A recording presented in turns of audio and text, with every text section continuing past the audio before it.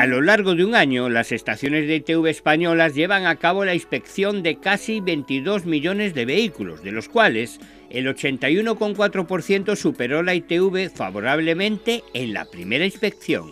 Sin embargo, y pese al elevado número de inspecciones realizadas, los datos oficiales muestran que el 34% de los vehículos que debían haber pasado la ITV no lo han hecho. Se trata de una cifra que ha aumentado un 27% desde el año 2017, cuando la ratio de incumplimiento en la ITV se ubicaba en un 26%.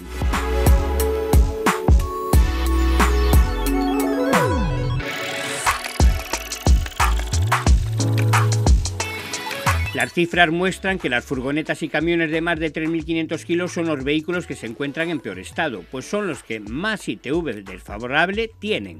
De hecho, Casi un 30% de ellos no supera la ITV a la primera. En segundo lugar están los autobuses y autocares con un 25,5% de suspensos. Y luego se encuentran las furgonetas y camiones de menos de 3.500 kilos con un 24% de ITV desfavorable.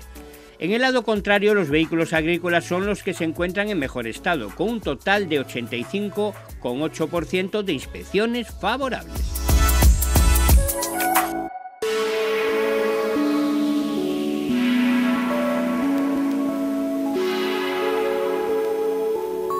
Los defectos más repetidos son el alumbrado y la señalización, eje, ruedas, neumáticos y suspensión, emisiones contaminantes con un 19% y los frenos que supone el 13% de los defectos graves detectados, siendo una de las partes más importantes para nuestra seguridad en nuestro vehículo.